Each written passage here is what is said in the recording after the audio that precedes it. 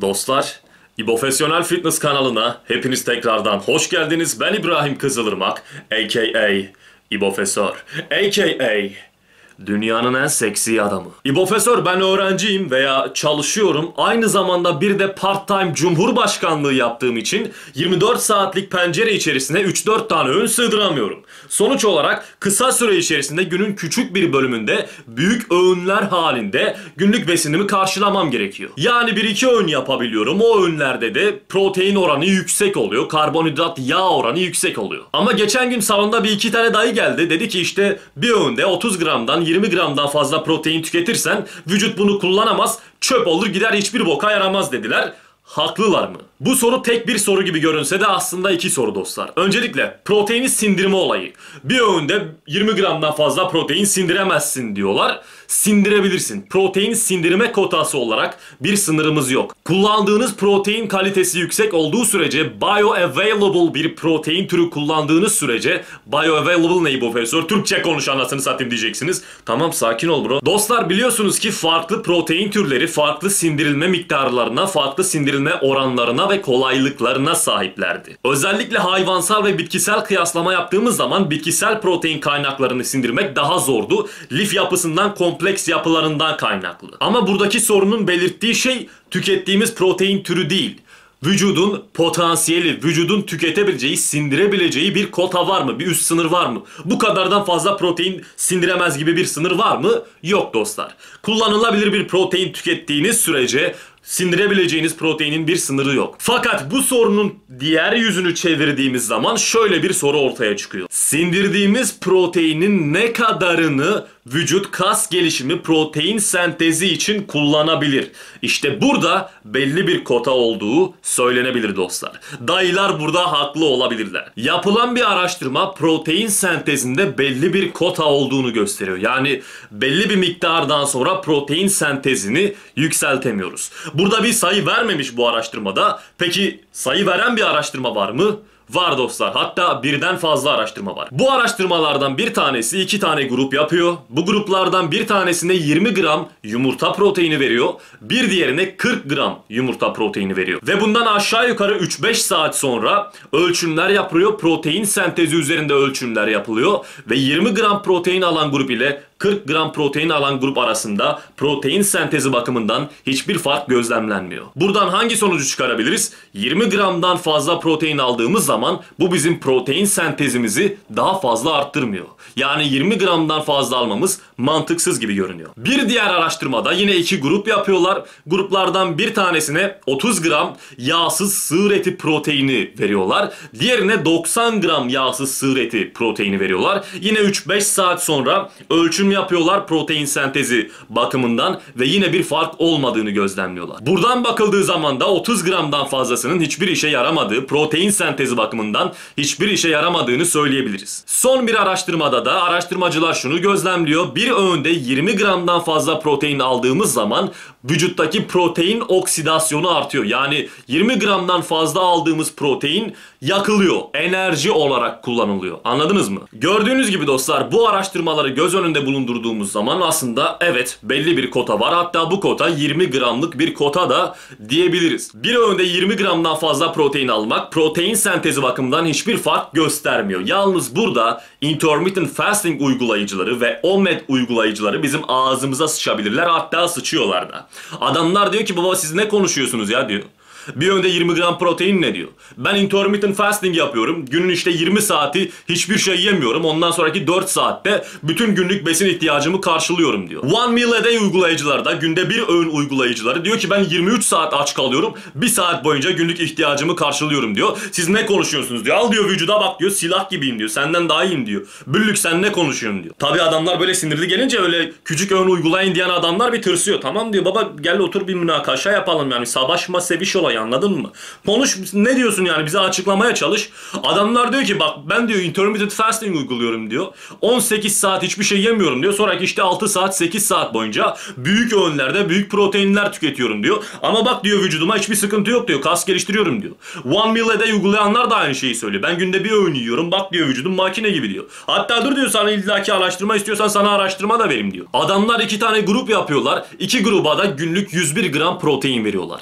Gruplardan bir tanesi intermittent fasting yapıyor. Günün 20 saati aç kalıyorlar. Sonraki 4 saatlik pencere içerisinde 101 gram protein alıyorlar. Yani aşağı yukarı bir iki öğün büyük protein yüküne sahip bir iki öğün yaparak günlük besin ihtiyaçlarını karşılıyorlar. Diğer grup ise 4-5 öğün olarak gün içerisinde dağıtıyor bu proteini ve araştırma sonunda baktıkları zaman vücut kompozisyonu bakımından hiçbir fark gözlemlemiyorlar. Yani kas gelişimi, yağ yakma bakımından hiçbir fark gözlemlemiyorlar. Hatta diyor bekle bir araştırma daha vereyim diyor sana. Bir gruba 86 gram proteini sadece bir öğünde veriyorlar. Direkt 86 gram protein tüketiyorlar. Diğer grup bu 86 gram proteini 30 grama ayırarak bölüyor. 3 öğüne bölüyor. Bu şekilde tüketiyor. Ve tekrardan vücut kompozisyonuna baktıkları zaman ne yağ yakımı ne kas gelişimi bakımından hiçbir fark gözlemlemiyorlar. Yani baba diyorlar siz ne konuşuyorsunuz böyle atıp tutuyorsunuz protein sentezi protein. Ne diyor? Şaplığa koyacağım suratına göreceksin şimdi protein sentezini ha. Dostlar bu intermittent fasting yapanlar, one meal a day yapanlar protein sentezi bakımından, kas gelişimi bakımından bir sıkıntı var mı bilmiyorum ama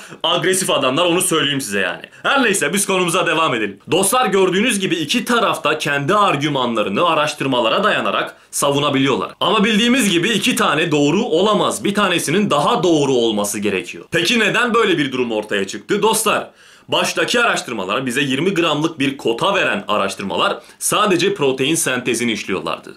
Ama protein metabolizması olayına geldiğimiz zaman yani kas gelişimi olayına geldiğimiz zaman sadece protein sentezi yani kas yapımı değil kas yıkımı protein breakdown olayı da işin içerisine giriyor. Bu konu örnek olarak yağ yakımıyla aynı. Biz yağ yakmak istiyorsak günlük aldığımız kalori yaktığımızdan daha az olacaktı ki yağ yakalım. Veya yağ almak istiyorsak kilo almak istiyorsak aldığımız kalori yaktığımızdan daha fazla olacaktı ki kilo alalım.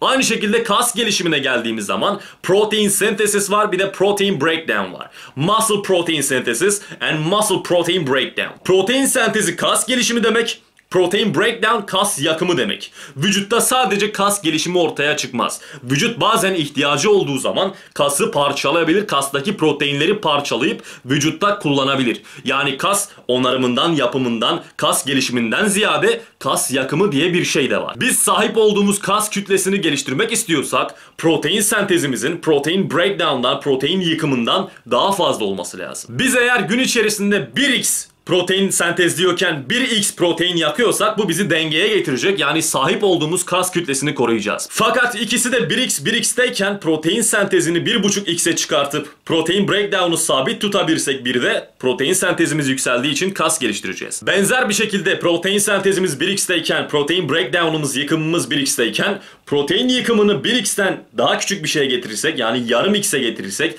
daha yavaş bir şekilde kasları yıkmaya başlarsak protein sentezimiz yüksek olduğu için tekrardan kas geliştirmeye devam edeceğiz. Vücudumuzdaki kas kütlesi artacak. Yani sadece protein sentezi göz önünde bulundurması gereken şey değil. Aynı zamanda göz önünde bulundurmamız gereken protein yıkımı olayı da var. Yani vücuttaki kas gelişiminde ikisini de göz önünde bulundurmamız gerekiyor. Oysa ki bize protein sentezi konusunda bir kota veren araştırmalar protein breakdown'ı, protein yıkımını incelemiyorlardı. Peki buradan hangi sonuca çıkacağım? Tahmin edebiliyorsunuzdur. Belki evet yüksek protein tüketmek belli bir seviyeden sonra protein sentezinde yükselişe neden olmuyor. Ama belki de protein yıkımını durdurmaya neden oluyordur.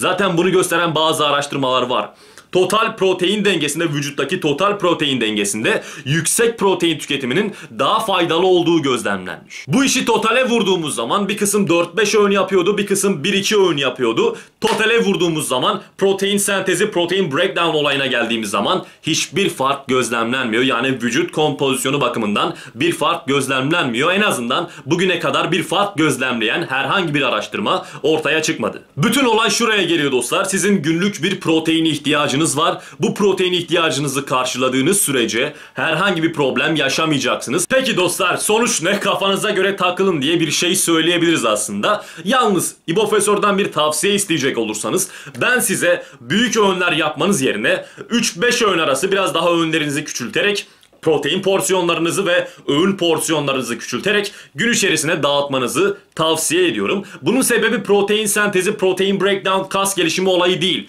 Bunun sebebi antrenman performansı olayı. Günde 3-5 öğün yediğiniz zaman antrenmandan önce 2 öğün bazen 3 öğün yemiş oluyorsunuz. Bundan kaynaklı vücuttaki kaslardaki glikojen depoları dolmuş oluyor. Vücut enerji deposunu doldurmuş oluyor. Antrenmana gittiğiniz zaman çok sert bir antrenman çıkarabiliyorsunuz. E, sert bir antrenman çıkması dolaylı olarak hatta direkt olarak bizim kas gelişimimizi pozitif yönde etkiliyordu. Fakat biz öğünlerimizi düşürürsek günün 16 saati 20 saati aç kalırsak intermittent fasting olayı veya one meal a day olayına geçtiğimiz zaman günün çok büyük bir bölümü aç kalıyoruz. O yüzden glikojen depolarımız boşalıyor. Burada iki tane olasılık var. Bir tanesi aç karnına gider antrenman yaparsınız ki bu durum zaten çok kötü. Antrenman performansınız her türlü kötü etkilenecek. İkinci olasılık çok büyük bir öğün yaparsınız. Gidersiniz ondan sonra antrenmanınızı yaparsınız. Ama buradaki sıkıntı da şu. Antrenmanınızı yaparken mideniz dolu olacak dostlar. Büyük bir öğün yaptınız çünkü. Sindirme süresi çok uzun sürecek. İnsanlar sana yemeği yedim yarım saat sonra antrenmana gideceğim hepsi sindirildi. Hayır. 4-5 saat sürüyor bu öğün sindirilimi. Eğer öğün çok büyükse daha uzun bir süre alabiliyor. Bazen 10 saatlere 8 saatlere ulaşabiliyor dostlar. O yüzden midenizde hala sindirim işlevi sürdüğü için antrenmana gittiğiniz zaman performansınızı düşürebilir. Bundan kaynaklı eğer bana sorarsanız pratik bir öneri istiyorsanız ben gün içerisinde 3 ile 5 öğün arasında bölmenizi tavsiye ediyorum. Bu şekilde antrenman performansınız artar, hipertrofiyi arttırabilirsiniz. Dostlar sanırım vermemiz gereken bütün bilgiyi verdik. Aklınızda herhangi bir soru varsa aşağıya yazmayı unutmayın. Yavaştan videoyu bitireceğim. Arka tarafta elektrikli süpürge açmaya başladılar. Kanser olmaya başladım. Katil olabilirim. Videoyu bitirmem gerekiyor. Buna benzer daha fazla bilgilendirici video görmek istiyorsanız videoyu beğenmeyi, yorum yapmayı, İbofesyonel Fitness kanalına abone olmayı, İbofesör'ü Instagram'dan takip etmeyi, beni desteklemeyi unutmayın. Ve şunu da unutmayın ben sizler için buradayım ve sizler seçilmiş kişilersiniz.